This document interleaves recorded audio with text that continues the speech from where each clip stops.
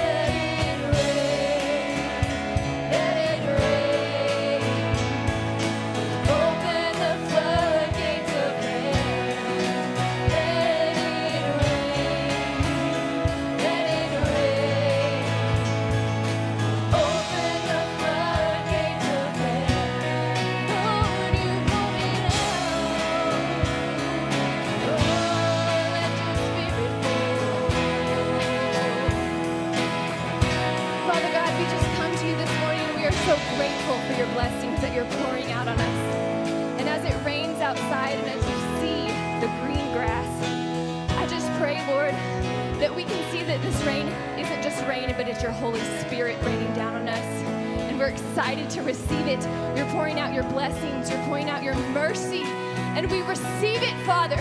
We're so grateful for your rain. We're so grateful for your spirit and your mercy. God, you're all that we want.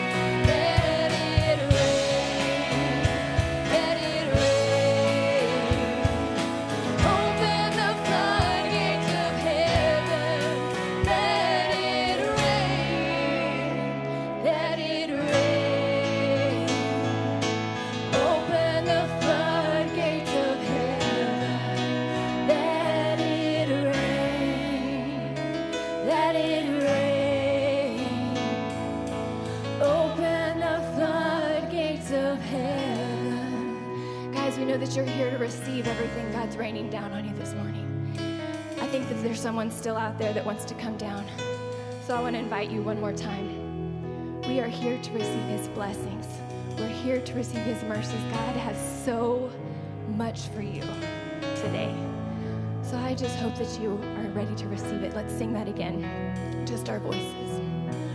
Let it rain. Let it rain. Open the floodgates of heaven. Let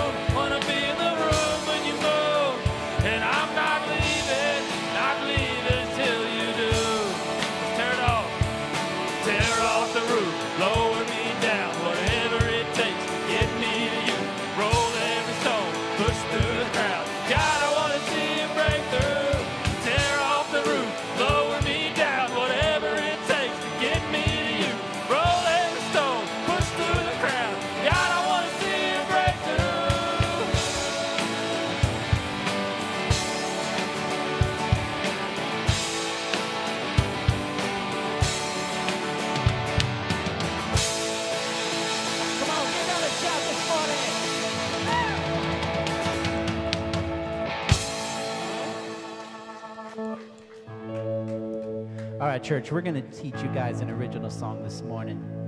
You know, we've been talking uh, in weeks past about the character of God. And this song that we're going to be singing this morning just talks about the character of God and just being thankful for who He is. So listen to me sing this and then sing it with me.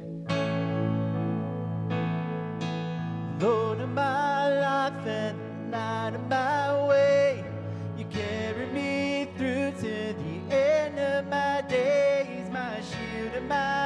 fortress, oh God.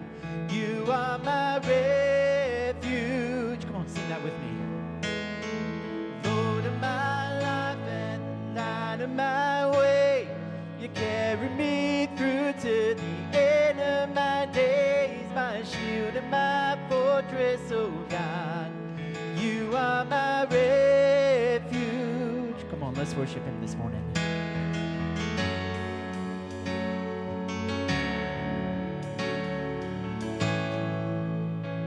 American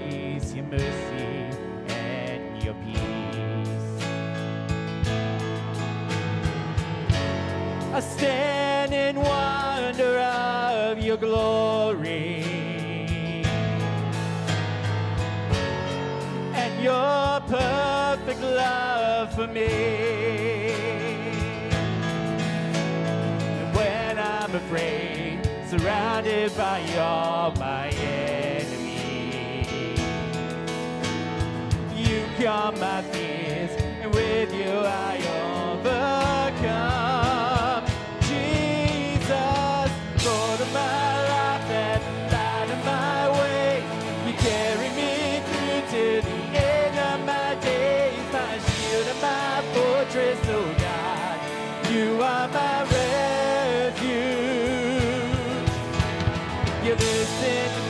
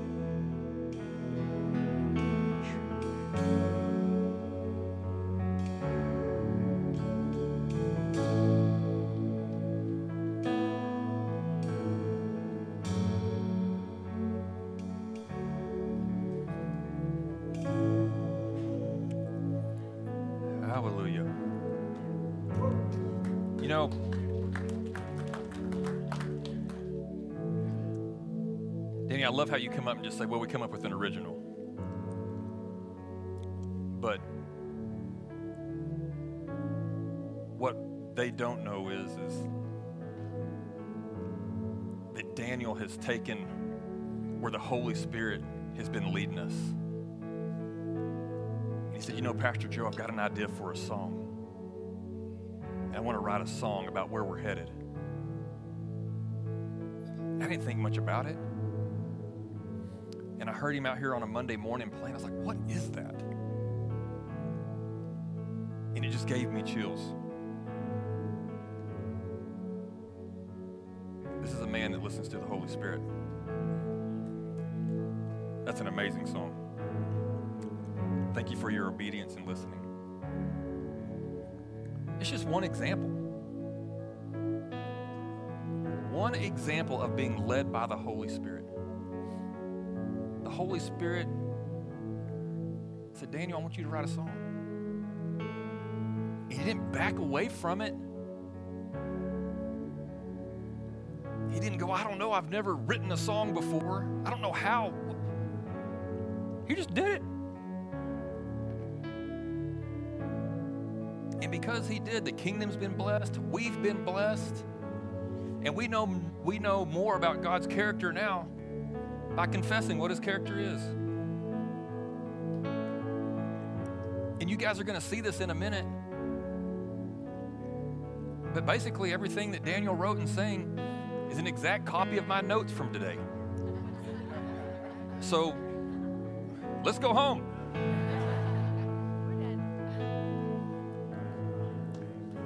Can we give God a round of applause? His Holy Spirit, the Holy Spirit is that good. You know, and this is a time of excitement. I'm excited to be here with you today. And the reason I'm excited to be here with you today is because the Holy Spirit is in this place. God loves us, God is here, and we can take that. We can take that. We can take this moment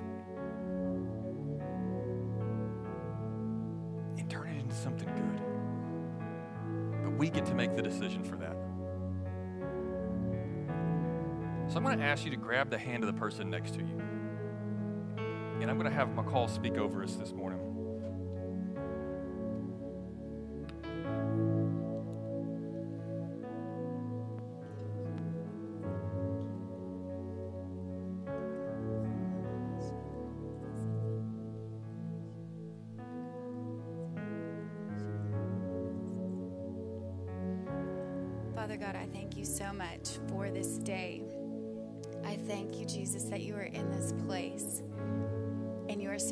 Every single one of us. Father, our hearts are open and our minds are ready to receive the word that you have for us today. Lord, these are your people. We are your people. And we are here looking to be transformed from the inside out. Father, thank you that you have never left us. You have never forsaken us. You will not leave us. If you are for us, no man can be against us. I thank you, Jesus, that you have a plan and a purpose for each one of us to prosper us, to lead us where you would have us go, Father. And I just speak that over every single one of these amazing, beautiful people in this room today. Lord, we are here. Our hearts are open. We are ready. Father God, you are the King of kings and the Lord of lords. You are with us. Our hearts are steady. Our minds are open. You have given us words and we act on them. We are doers of the word. We do not live in fear. You have not given us a spirit of fear, but of power, of love, and of a sound mind. And Father, I just thank you so much that as we are joined together, Lord, that we are reminded of your love, your steadfast love for each one of us. Thank you, Jesus, for sending your son because you love us. And we, you are meeting us right where we're at. Father, we thank you that when we do kneel down to pray, that you hear us. That when we need comfort, you speak words over us. And we receive those words. When we're not okay, you're there. When we're happy, you're there. Father, we just thank you, thank you, thank you for this amazing day. Thank you for the rain. Thank you for the love. Thank you for the joy. Lord, we bless you, love you, and praise you in Jesus' name. Amen. Amen. So the Holy Spirit's impressing on me this morning that there's some people in this room that need to be lifted up. So, in this time of stepping out and in this time of us being bold, I want you to find a couple people that are around you, and I just want you to lift them up. I want you to put a hand on their shoulder and say, God loves you. Or maybe the Holy Spirit's going to impress on you something else to say to them. And guys, I know this can be uncomfortable. It's uncomfortable uh, for me. I've gone to pastors' conferences, and one of the times that I, I the, the main gal go, well, we're gonna we're gonna stretch an arm out. We're gonna, and I'm like, oh my goodness. But this is what we're called to do. We're called to be a witness. We're called to be a witness that is empowered by the Holy Spirit.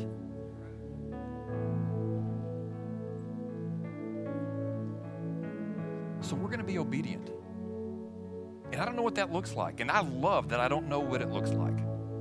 Because sometimes I think as a church, we get into the mold of the three songs and the message, and then we're off to Kentucky Fried Chicken.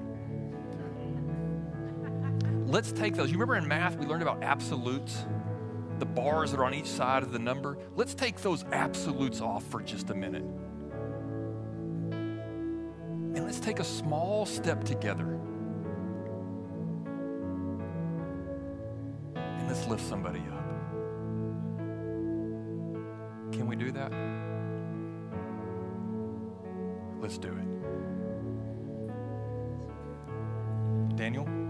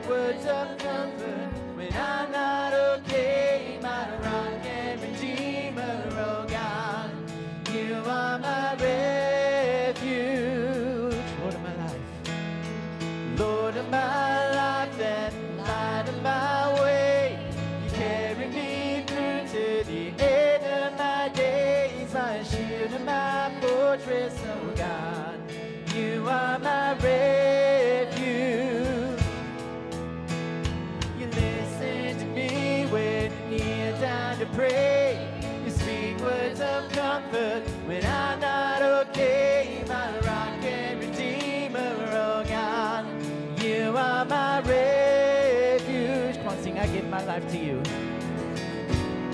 And I give my life to you. I trust you to see me through.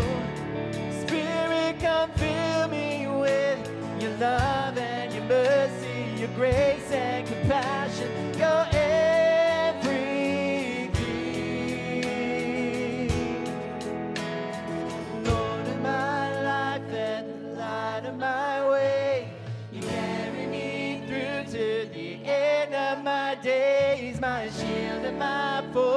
oh God.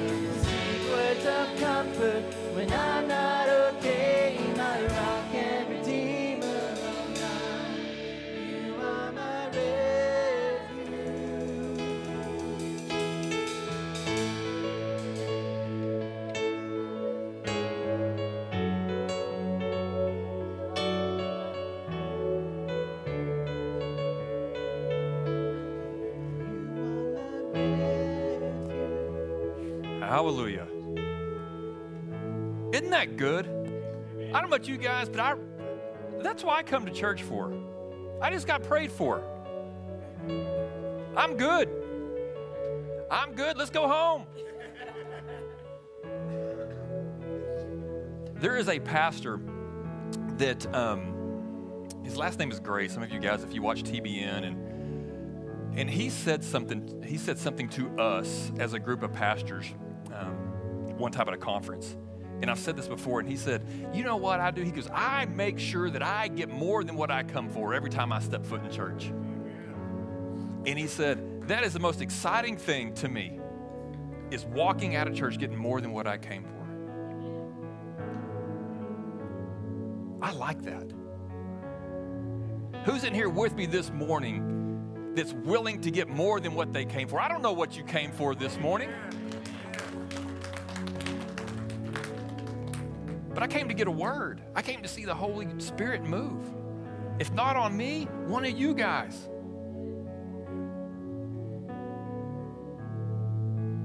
I'm going to get more. Because I can sit at home and watch church on TV if I don't expect more. And it's not a greed thing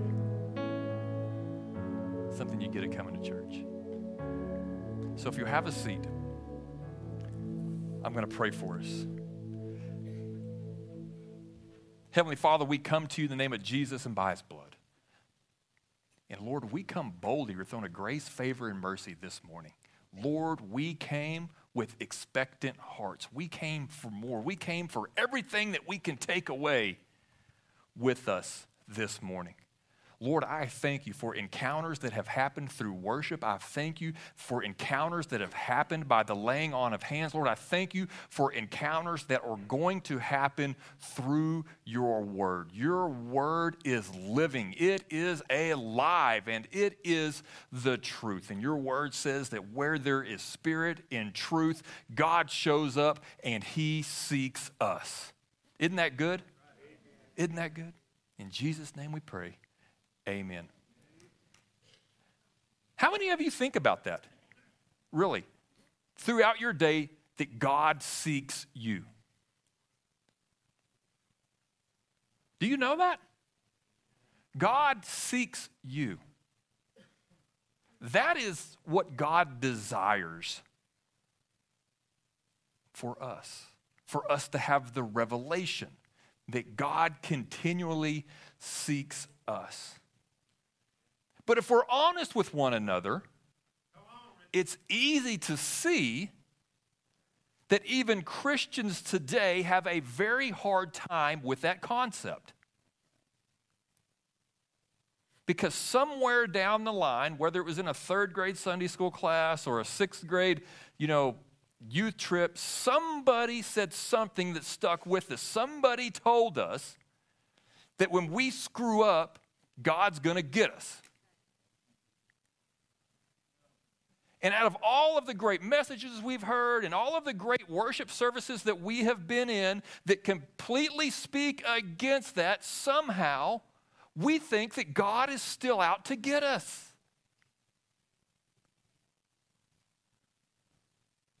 You know, Pastor Jay used to say in, in church here all the time if God was out to get you, he would have already got you. Some of us are older, some of us are 70, and we're waiting for God. When is it? Hey, I'm just waiting. I'm just waiting for him to get it. When's it going to happen? What sense does that make? It doesn't. It doesn't. Yet we hold on to some of that bad theolo- the- uh, theology.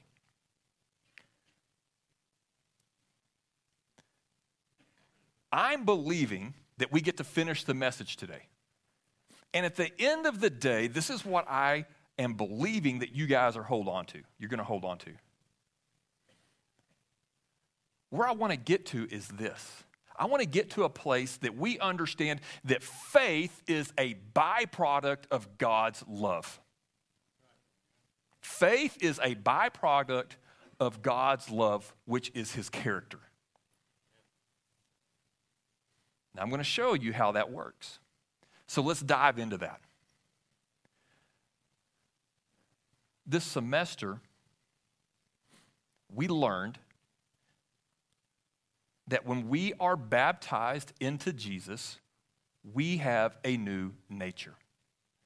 And then we took that a little bit further and we started to learn about the baptism of the Holy Spirit. And then we learned that when we're baptized in the Holy Spirit, God gives us these new abilities. So our spirit is made new, our spirit is made perfect, and then on top of that, God tops it off. He puts the bow on it with giving us some new abilities so that we can minister and so that we can witness to the ones that are outside the store, or maybe somebody that's in here. That's what Acts chapter 1, verse 8 is at, is for us to be a witness that is empowered. So now that we're empowered, and we can look at this a lot of different ways, and we can look at it from different angles, but when it comes back to it, when we look at our new nature and we look at the abilities that God has given us, what we can really do is we can wrap that up in a nice, neat little package and say, you know what, now that I am one with God, now that I am spirit to spirit with God, I now possess the character of God. Now, I've said this before. Please don't misunderstand me. If you're online, please don't misunderstand me. I did not say that we are God. But we were made in his image and his likeness, and we now possess his spirit, and we now possess his character. So, you, to sum all this up, if you don't know what your character is, you can simply say, I have the character of loving kindness. My true character is love. Why? Because I was made in the image and likeness of my Father, and his character is of loving kindness. We need to know this as Christians. Our character matters. Our character matters. Have you ever thought about that? As a Christian, our character matters. What is the definition of character? Character, if you look at the Webster's dictionary, it is simply our mental and moral qualities. Our mental and moral qualities. So, what are your mental and moral qualities?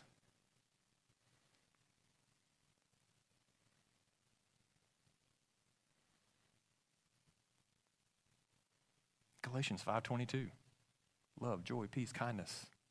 All of those things that show us what God's character is. So God has a character. God has a character. Has character, not a character. But he does have character. And what is that character? God's character is loving kindness. God's character is loving kindness. How do we know this? Because in the Old Testament and the New Testament, directly and indirectly, it's listed over 250 times that his character is loving kindness. The Holy Spirit wanted us to make sure, and the Holy Spirit worked through the writers of the Bible to make sure that we understood that God's character is loving kindness. So, if God's character is loving kindness, and we're going to define that in just a few minutes, why would he be out to get you? Right? Why would he be out to get you? If God's character was to get you and to break one of your legs, why wouldn't he break both of them?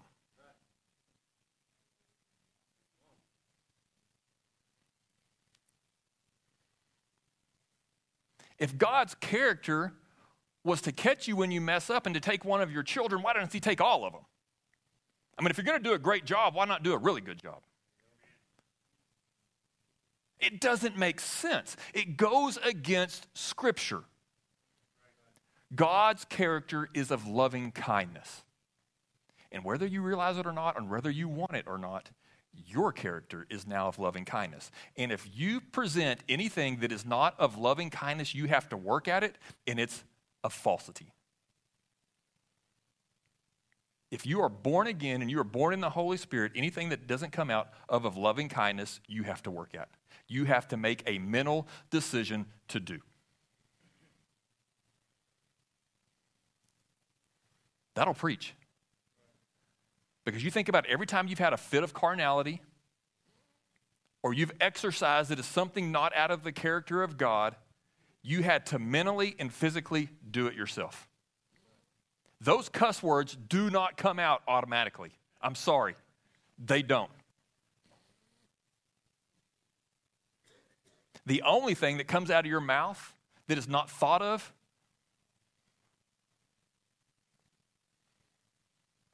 our tongues. Lines up with Scripture. So, what is your character? Are you with me, Encounter Church? Let's take a quick review back. Turn with me to Psalm 107 and 43.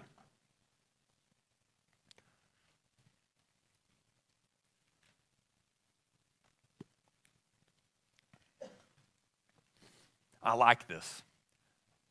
Whosoever is wise will observe these things, and they will understand the loving kindness of the Lord. So, what we want to do today is by revelation, we want to get the loving kindness of God. Those who are wise. Who is that? Who's that talking about? That's talking about us. And he is saying those that go to Encounter Church are going to be wise from this point forward because by revelation, because of my word, because of my love, they are truly going to understand who I am. And when they understand who I am, they're going to understand who they are. And then we're going to connect. And then they're going to be able to really start to receive from me.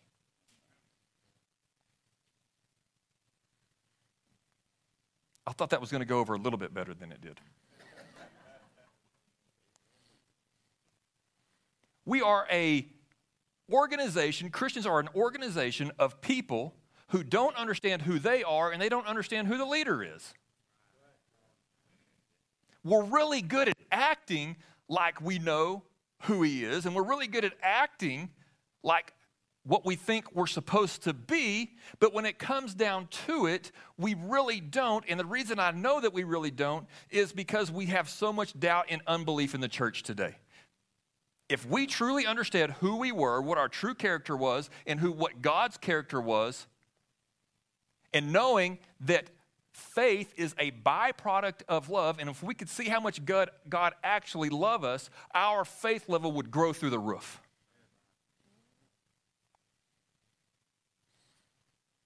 And our altar calls would change from coming down and having prayers to have a need met to prayers of joy and glorifying and magnifying. Wouldn't that be awesome? Wouldn't that be awesome if we had an altar call down here one Sunday after church and the only thing that was spoken was the glory of God, how great his glory is, is. Magnifying God for who he is. What would that look like? I don't know because I ain't seen it.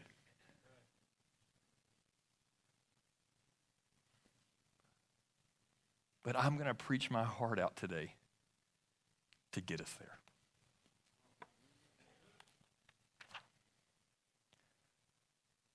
Loving kindness. If you haven't already highlighted that, highlight that in your Bible.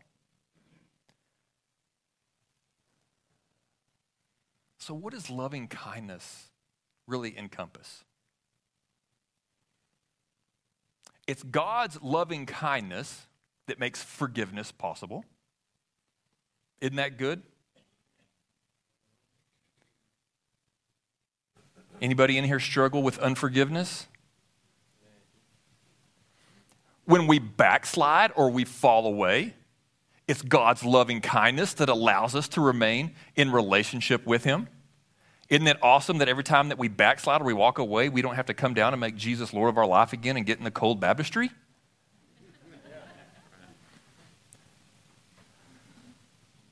It's God's loving kindness that makes relationship possible.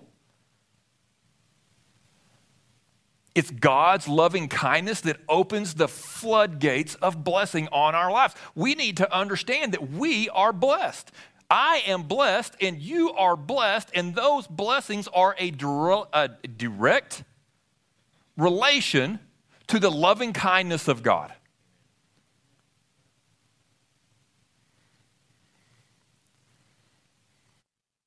If we can't put that correlation together, if we don't understand that we are blessed because of God's loving kindness, then we are in the camp of those that say, I'm just lucky.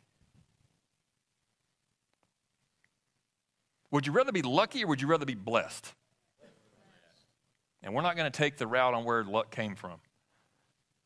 But it allows, God's loving kindness allows for intimacy with Him Guys, calm down.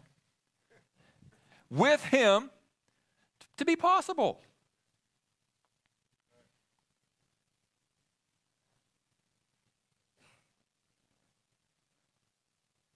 It's God's loving kindness that makes our righteousness and holiness possible.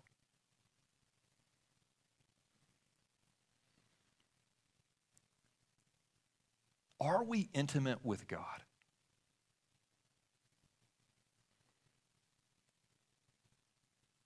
Truly, do you have an intimate relationship with God? It's a fair question. It's a fair question because if you remember two weeks ago, I said one of the hardest questions that I have to answer in my office is why. And a lot of the reasons why we ask why is because we're not intimate with God. When you're intimate with somebody, it means that you're close with them. And those that are close, they share things. Right? McCall's always trying to share something with me.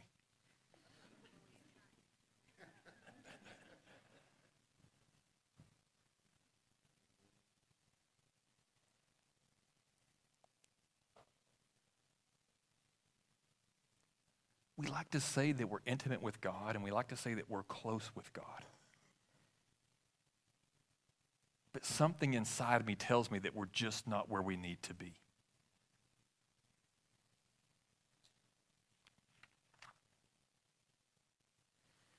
We looked at some examples last week, and I gave you some real life examples of people that should have been intimate together, but they weren't. They wanted nothing to do with one another. Why is that? The reason is it's hard for us to be intimate with those that we think are going to hurt us. We don't want to be intimate with somebody who we think will hurt us. Right?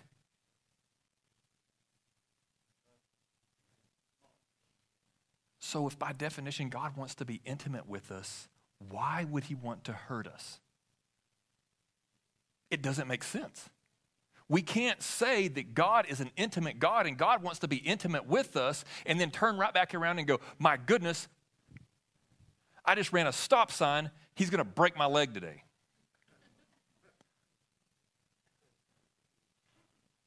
Or I stubbed my toe and I kicked the cat and he's going to give me cancer.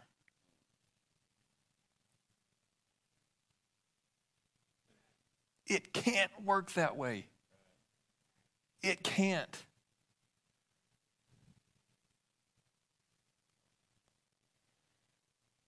Yet we continue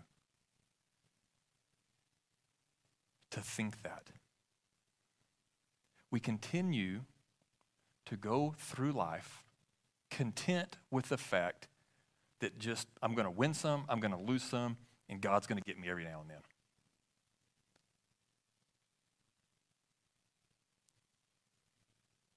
I don't care what the example is. If me and Steve want to be best friends, and I want to be best friends with him, but I know in two weeks, man, he's going to knock my lights out. I'm sorry, brother, but I'm not taking you to lunch. Even if it's the greatest two weeks I've ever had in my life, I ain't taking you to lunch. It's what keeps us from opening our Bible. It's what keeps us from coming to church. It's what keeping us from coming to a connect group. The repercussions of it go on and on and on because we are so afraid of being hurt by the one and only true person that loves you according to his character.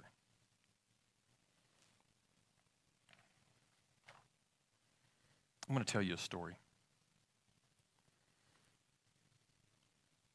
I'm so glad my parents they had us in church when we were kids. And I'll forget we were at the we were at the Church of Christ in Canyon. And the main congregation kind of sat like y'all did, and the, the youth sat over on the side, kind of angled towards the pastor. And I'd forgotten all about this. And it was one of the first times that I felt like God really spoke to me. He showed me, and He showed me a vision of me behind the pulpit at the church. And I've forgotten all about this. And I'll never forget how scared I was when I saw that. Number one, it went against everything that I believed as a 13 year old because as a 13 year old, I was going to go and be the youngest winner at Top Gun. I was going to be the hottest fighter pilot this country had ever seen. So I didn't have time to be behind the pulpit. And if that didn't work, I wanted to be a highway patrol. So time goes on, and I forget about that. And I get into college, and I join a fraternity, and we do the fraternity things. But I'll never forget in our fraternity, and I don't know why, but we had a chaplain.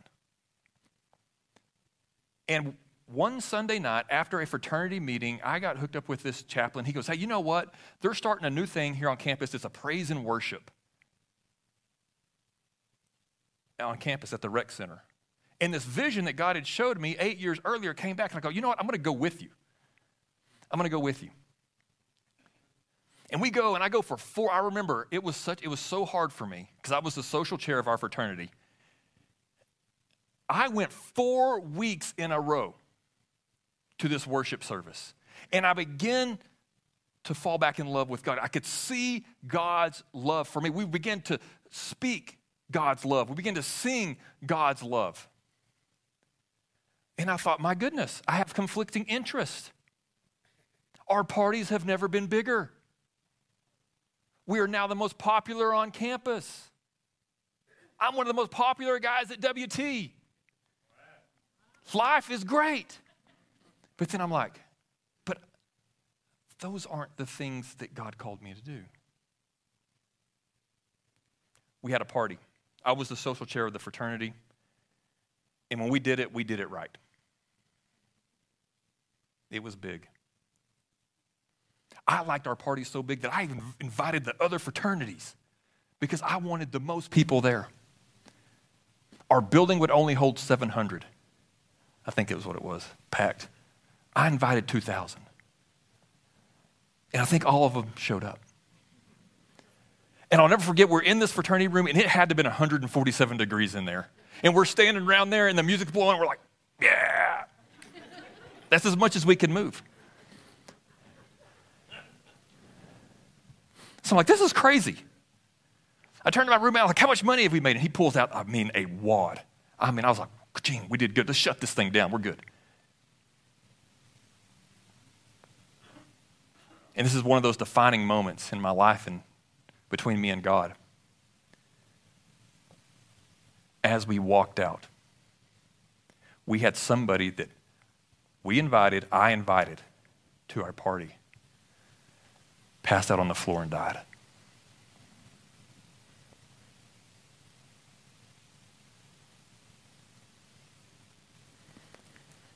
Here we go, Lord.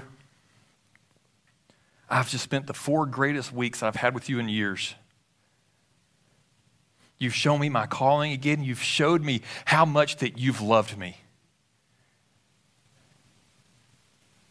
Look what I did.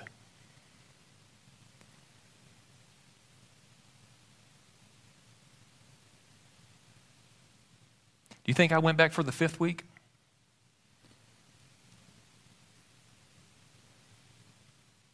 I didn't go back to church again until McCall made me after we were married. And the only reason I went is because she had some things I needed and wanted, and I thought it was good to keep that relationship going because I had other things to do on Sunday morning.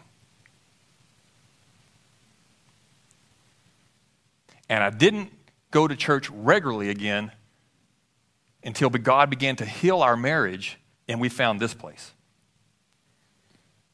And it's at this place that God showed me his loving kindness.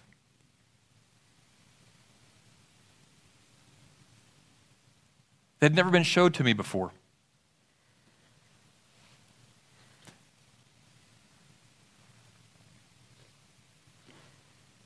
I heard about God's loving kindness.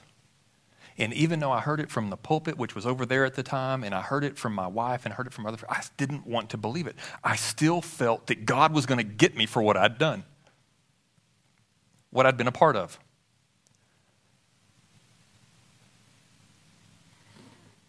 Why would somebody love me for what I've done to somebody else?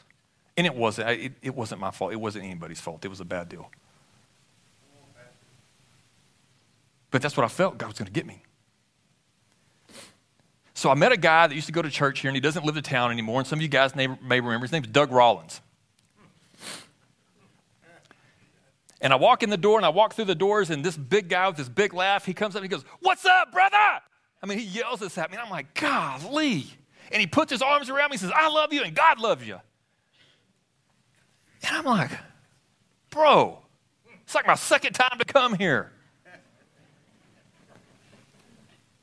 So we build this relationship, and he begins to tell me about God's love. And one night, he invites me, after he gets done with one of his deals, to go to the Waffle House over somewhere over there. And at 12 o'clock at night, me and Doug Rollins were arguing about does God love me or not? And I'm giving him all these reasons why God shouldn't love me. And he's giving me all this scripture why God doesn't. And you're not going to win an argument with Doug Rollins. I'm sorry. You're not going to win an argument with him. So I couldn't win that argument, so I'll begin to argue with McCall. Now, I'm pretty good. I, I, there was a point in my life that I liked to argue and I like confrontation, and that, to me, that was fun. Not so much anymore. I'm out on that. God showed me the, a better way. But I remember, you know, telling McCall, look, I've done this, and I haven't. Done. She's like, it doesn't matter. God loves you. God loves you. God loves you.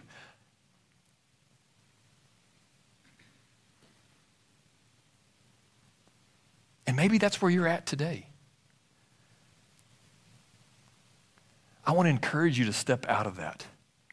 I want to encourage you to dive into God's loving kindness and study it out for yourself. That's what I did. I surrounded myself around people that understand God's loving kindness, and I made sure that I was around them as much as I could. And one day, the light bulb went off. Now, it took a little help from Pastor Jay, He actually had to come to my office and threaten me. But the light bulb went off. God does love me. He is love. He's not the king whack a mole master.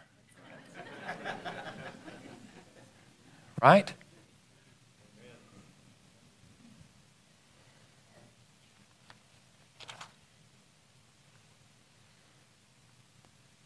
See, God is different. That's what Cody said last week. One of the God's characteristics of loving kindness is he's different. He's holy, he's righteous, he's set apart. And it's good for us to know that. Because as people, we want to compare our relationships that we have now with the relationship that we have with God. And that doesn't work. That doesn't work. We want to put our experiences that we have in our relationships here against the experiences that we have with God. And it doesn't work. Why? Because He's different. And let me tell you how He's different. Let me tell you how He's different in my life. He's different in my life because He's the only person that I've ever met that loves me because of His character versus my conduct.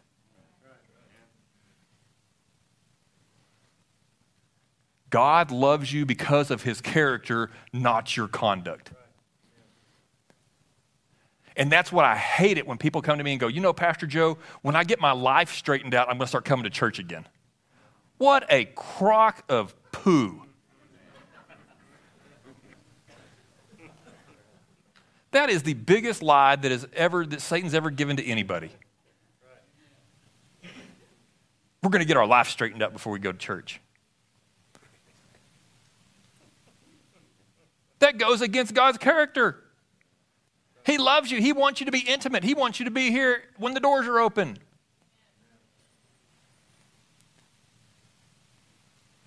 But God's the only person that doesn't love me based on my holiness and my works and my actions and my conduct.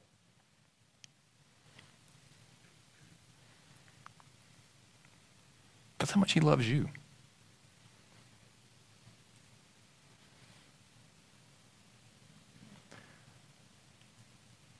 God is for you. God is for you. I don't know who that's for this morning, but somebody this morning needs to hear God is for you. And God wants you to hear this, and God wants you to know that God is for you. God loves you. And God wants us to trust Him. And because we love Him and because we trust Him, we can bring our need to Him. How many of you have ever taken a need or tried to open yourself up and be vulnerable with somebody just to get hit in the face? All right? Probably all of us in here could raise our hands and say, you know what, there was a time that I wanted to open myself up. I want, maybe it was with a pastor or maybe, it, who knows, uh, who knows? But you open yourself up to that love and the trust and bam, you're like, mm, I'm done with that. Done. Mm-mm, never going to do it again. We can't do that with God. And I'm going to show you why in just a second. But God is for us. Turn with me to Psalm 56 9. Psalm 56 9.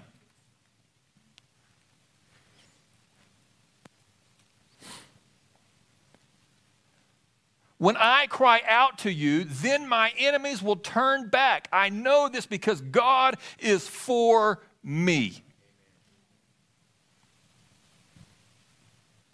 God is for you. I want you to say that. Repeat after me God, God is, is for, for me. me. Highlight that in your Bible. If God is for you, why would He want to break your leg? I'll never forget a conversation I had in the halls at PD one time. I had a teacher come up to me and she goes, You know, Mr. Dwyer, I'm so glad that God loves me, that He only gave me this low grade of cancer so that I can be a witness to Him. Now, I'd been to the church like four times when this happened, but even I was like, that has got to be ignorance gone to seed right there.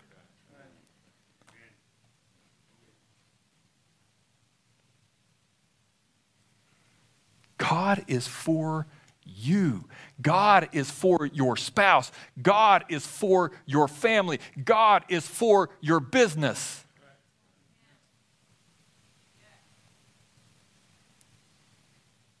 Thank you, Annie.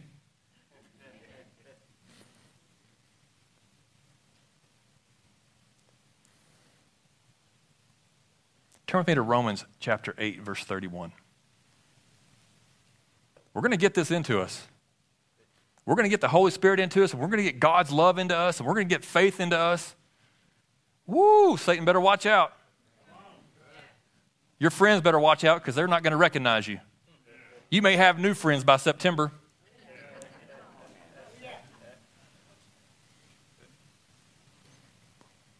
But if we have the character of God inside of us and we're set apart, isn't that what's supposed to happen? Does our character matter? Absolutely, it does. What then shall we say to thing, these things? If God is for us, who can be against us? Now, these are just two examples, but I could sit here all day and show you scriptures like this. How many scriptures is it going to take for us to get inside of us that God's character is loving kindness and that He loves me and that He is for me? If God didn't love us, He wouldn't have sent us the Holy Spirit.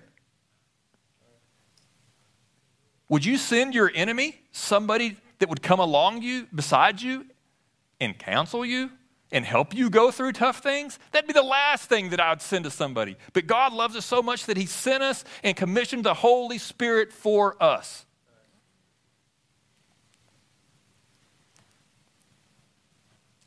Are we learning something today? I want to talk about the definition of love for just a second. Here is a quick definition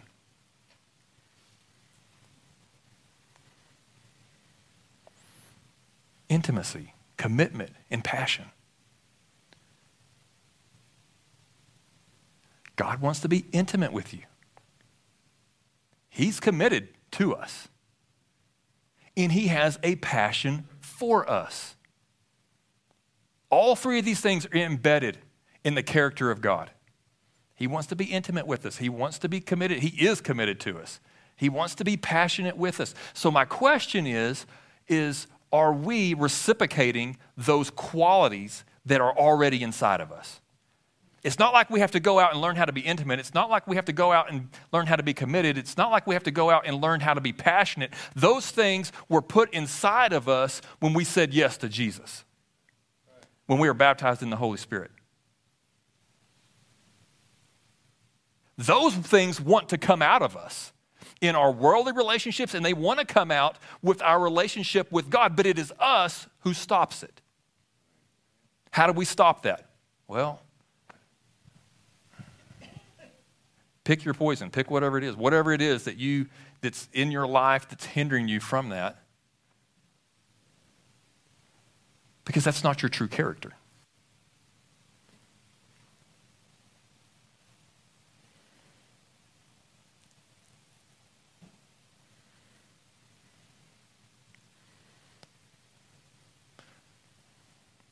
I'm going to close with this. We're going to come back next Sunday.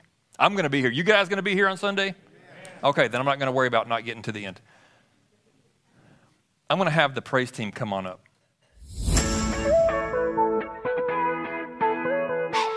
Well, thank you so much for joining us, Encounter Online family. We hope that you enjoyed the word. We hope that you had your own encounter with God today.